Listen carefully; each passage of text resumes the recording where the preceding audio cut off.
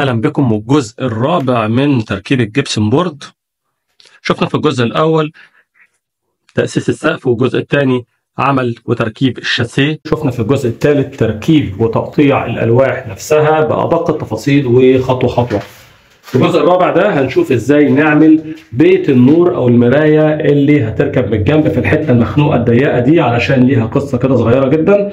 وفي نفس الوقت إزاي بقى هنعالج الكورنر ده؟ هو طبعا مظبوط بنسبة 90% ولكن لازم طبعا هتلاقي فيه نتيجة القص بتاعك انبعاج والكلام ده كله. فبدل ما نخليه بالمعجون لا هنشوف هنعمل فيه إيه؟ يلا بينا.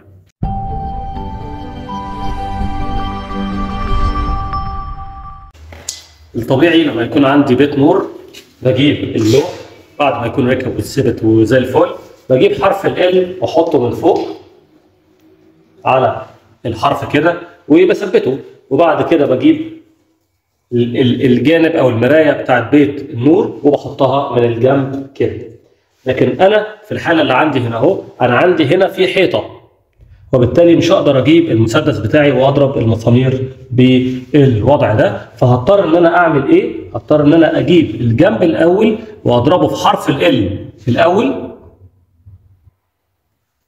كده؟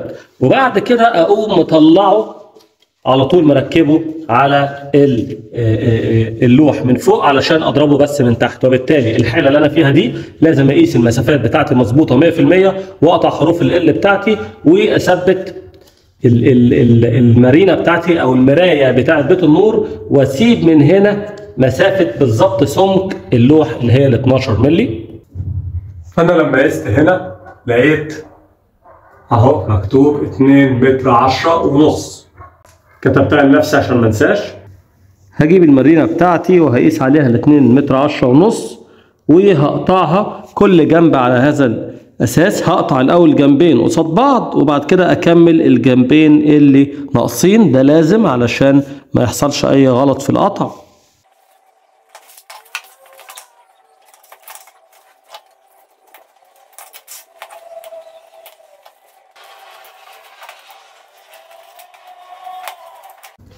هنا تعمل علامة عشان الأزرق تبقى عارف هو فين لبره أو لجوه فده علامة ده معناه ده الأزرق. أو الأخضر يعني اللي هو الوش الإيه؟ اللي هو ضد الرطوبة اللي هو ده. أنا كنت سايب الحتة دي مش هنا علشان آه، ما توهش طيب.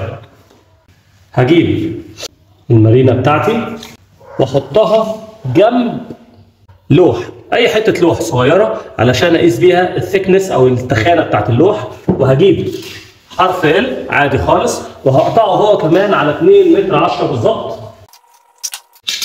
مهم جدا بقى إن أنا أجي هنا أهو على واحدة منهم وأشطر على 45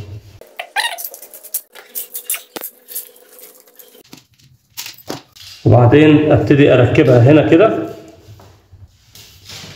وأبتدي أثبتها على وضعها كده بالمسامير.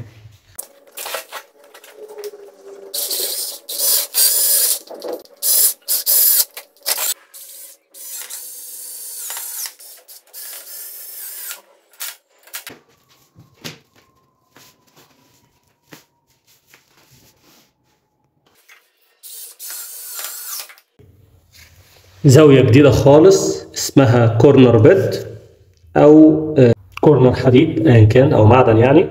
ده اللي بيتحط في ال corners علشان آه، يظبط بالظبط بقى الإيه الحواف بتاعة الشكل بتاعي.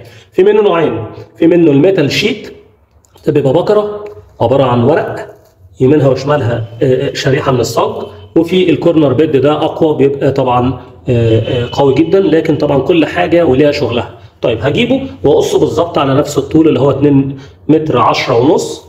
وكمان برضو هقطع من اليمين ومن الشمال آه، حتة كده من ضلع منهم هقطع على 45 قطعت على 45 من هنا لكن دي عدلة علشان دي هتركب من تحتيها دلوقتي. تركب كده أهو. وأبتدي إن أنا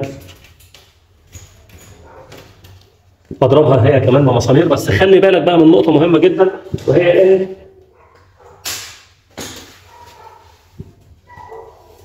في هنا فرق ما بين ال metal ده وما بين ال metal ده. فلما تيجي تضرب من هنا المسمار اضربه يعني مايل سنة صغيرة جدا بحيث إن هو يلحق يضرب في ال metal ده. يعني المسمار لازم يمسك من metal ل metal.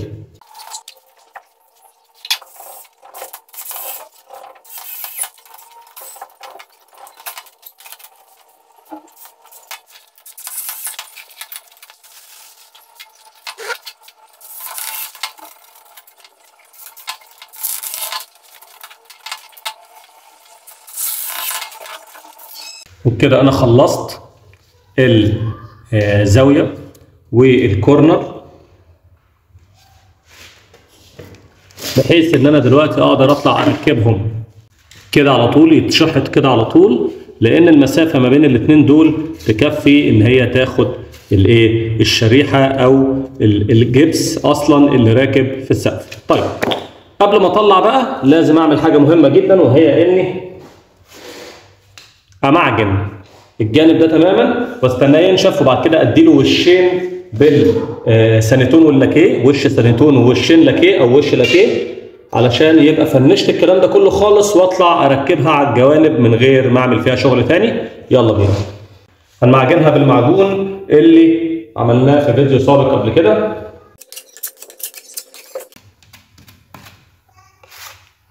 وهنا بقى خلي بالك إن المعجون بيبقى آه، عشان تستر بيها الشكل كله بتاع الكورنر. وبالتالي انت بتمشي المعجون علشان تخبط في في السن بتاع الكورنر اللي هو بيبقى أعلى حوالي نص ملي من الجسم بتاعه. كده؟ وبعد كده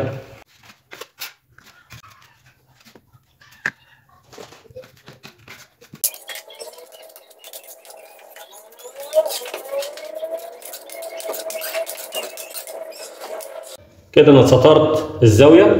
هكمل بقى الأربع جوانب.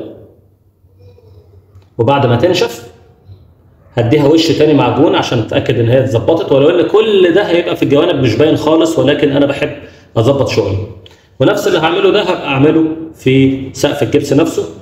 يلا بينا.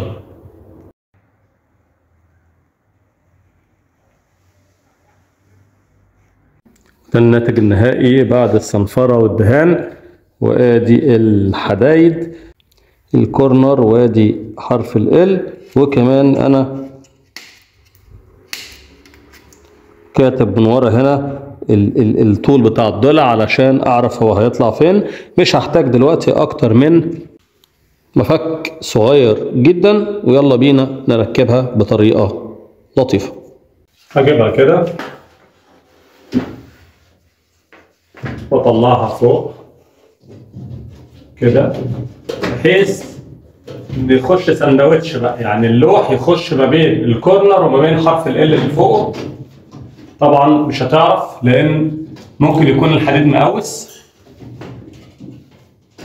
مش مشكلة هندخلها من طرف واحد. كده. ونبتدي بالمفك. نسحب الكورنر حتة حتة علينا.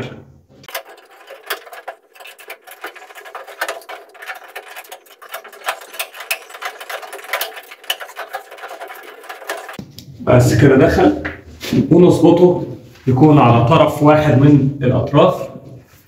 نبتدي بقى نسلك.